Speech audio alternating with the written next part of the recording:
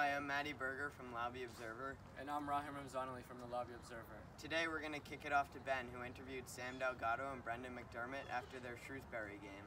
Today I'm interviewing Brendan McDermott and Sam Delgado for the Lobby Observer. So guys, how do you think you played today? I think we uh, played pretty well. Got the got the shutout, but not the W. But you know, it's uh, it's cool. So, I think we had a good team game. We moved the ball around well. We had some injuries, but we adjusted.